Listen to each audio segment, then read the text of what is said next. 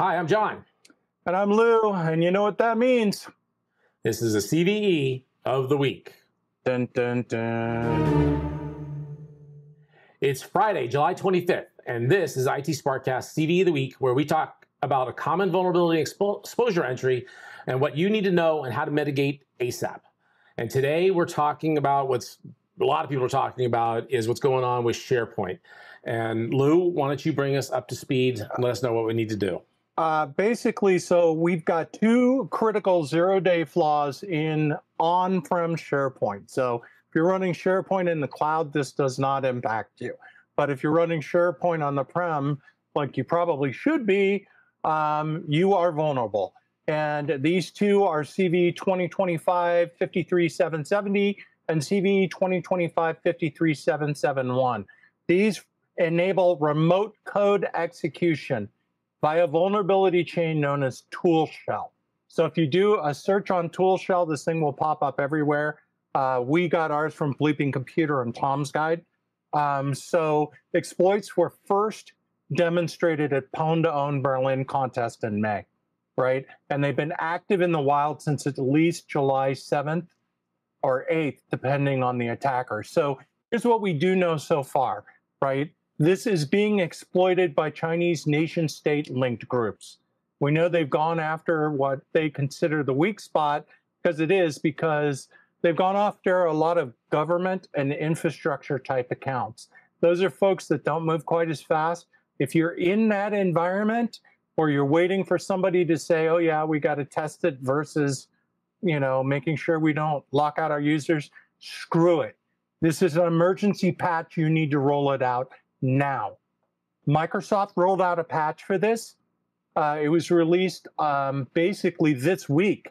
Um, it's so it's the patch goes for SharePoint Subscription Edition, SharePoint 2019, SharePoint 2016. These updates include advanced protections beyond the previous Patch Tuesday fixes. All right, so they, if you think I did Patch Tuesday, I'm fine. Nah, they didn't get everything. So you need to apply these emergency patches right now. If you can't do that, right? If you, uh, for some reason, you've got a process or somebody who won't let you touch it, disconnect your SharePoint from the internet immediately. It cannot have any internet access. It will get owned. In fact, at this point, while you're watching this, if you have unpatched SharePoint on the internet, assume it has been compromised. So now you are in cleanup mode. Understand that. You, you know, this, this is interesting. So th- there was also information that came out, uh, I think it was just in the last day or two, that the number of organizations that have not applied the patch is staggeringly high.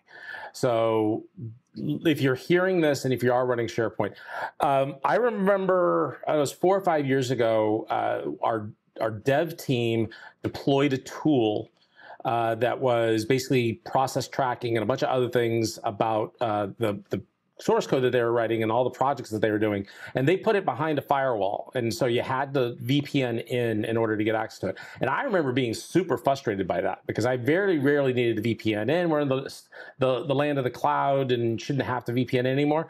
But this is why they do things like that is that you run into a, and they weren't running SharePoint, they were running another tool, but same kind of situation is that if, if your SharePoint uh, deployment was behind a firewall, you'd be less concerned about this if people are VPNing in to, to get access to it.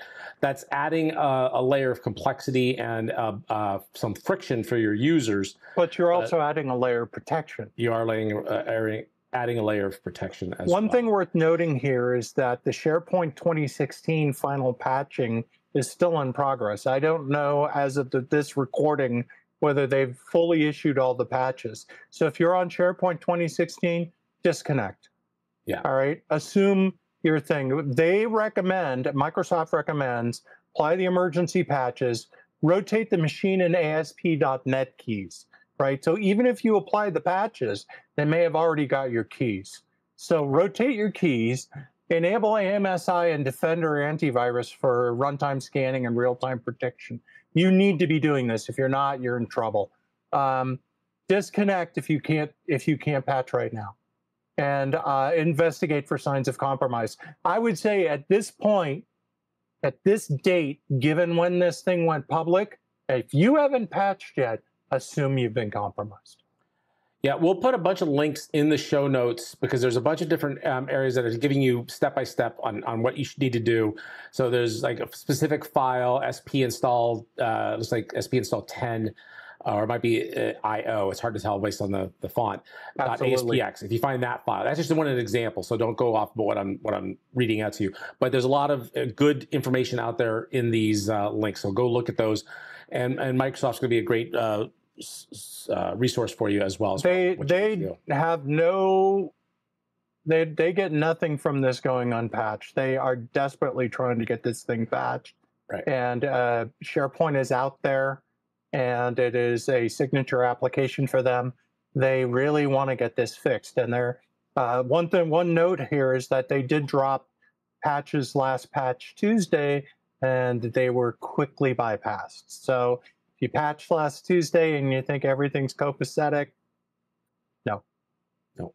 So, all right, so that, please that is going to cover this episode. Uh, we couldn't do this podcast without listeners like you. We want to hear what you think. Do you have another topic you want us to cover? Do you want us to go more towards these types of current issues? You want us to talk about other types of security issues? What would you like to, to hear? Send email to feedback at itsparkcast.com or hit us up on X at itsparkcast.